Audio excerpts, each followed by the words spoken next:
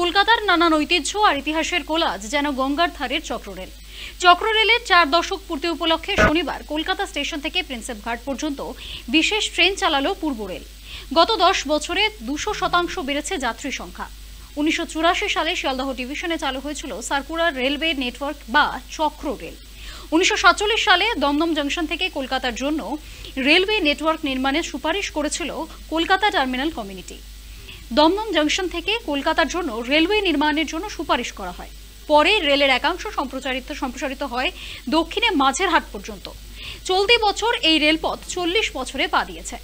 চক্র রেলের এই দীর্ঘ চুয়াল্লিশ কিলোমিটার পথে মোট একুশটি স্টেশন রয়েছে। রেলের পক্ষ থেকে জানানো গেছে দু হাজার তেরো সালের পর থেকে গত এগারো বছরে চক্র রেলের যাত্রী প্রায় দুশো শতাংশ বেড়েছে। বর্তমানে এই রেলপথের সাতাশটি ট্রেনে প্রায় পঁয়ষট্টি হাজার যাত্রী সফর করেন।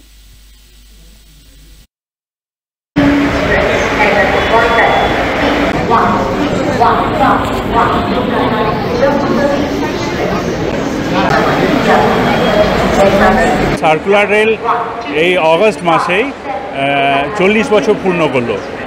তো সেই সময় আমাদের অনেক কিছু কাজ ছিল বলে আমরা আজ আর একটা কলকাতা শহরের মধ্যে একটা ঘটনা চলছিল সেই আবহে আমরা কোনো উদযাপন করিনি।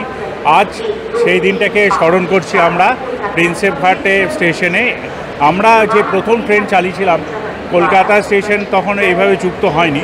তখন তো কাঠের রেক ছিল, তো সার্কুলার রেল মানুষের কাছে অত্যন্ত প্রিয় জায়গা। প্রচুর মানুষ সার্কুলার রেল অ্যাভেল করেন এবং সার্কুলার রেলে তাদের মানে অফিস গোয়ার যারা মেনলি তাদের জন্য এটা সুবিধা। আস্তে আস্তে সার্কুলার রেল বাড়ে, কলকাতা স্টেশনের মতো বড় স্টেশনগুলো যুক্ত হয়। এবং এখন মানুষের এটা একটা মানে নিত্যদিনের একটা সাথী হয়ে দাঁড়িয়েছে। সেই জন্যেই আমরা এই দিনটাকে উদযাপন করছি। চল্লিশ বছর of the Kolkata Kolkata circular railway.